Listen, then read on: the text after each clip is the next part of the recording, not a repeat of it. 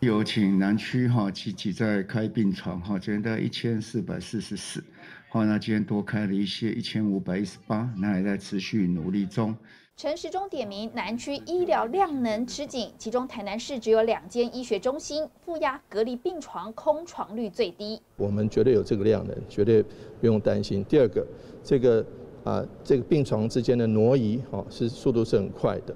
而且是准准备好的，我们会陆陆续续开床，我想一百床应该是没有问题。南区加码一百床，原本的空床率从百分之二十八点五提升到二十九点五。至于高雄医院空床率保持五成以上，不过高雄确诊人数已经是全台第二高，仅次新北市，逼出不少家长带着孩子来打疫苗。对，有同学也有确诊，有，哦，四个，会担心吗？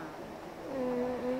如果重症的话，可能第一个对医护，因为我本身也是医护，然后我觉得对医护也是 蛮辛苦的。然后第二个对小朋友真的是蛮，对啊，如果重症是蛮可怜的。打不打其实都是有风险嘛。那既然都有风险的情况，我们就是最后就是决定说，还是打一下比较安全。那在病房的使用上面，目前呃总共有一千一百四十二个空床数，占所有。我们的专责病房跟负压隔离病房的五十点三 percent，南部打的相对都好。我们看到这个最高的哈，可能到屏东有到了九十一去哈，那大部分北部稍微差一点。尽管全台现阶段确诊人数下降，不过南部未来一周仍处于高原期，民众把疫苗打好打满，降低染疫重症，才能守护医疗量能不被压垮。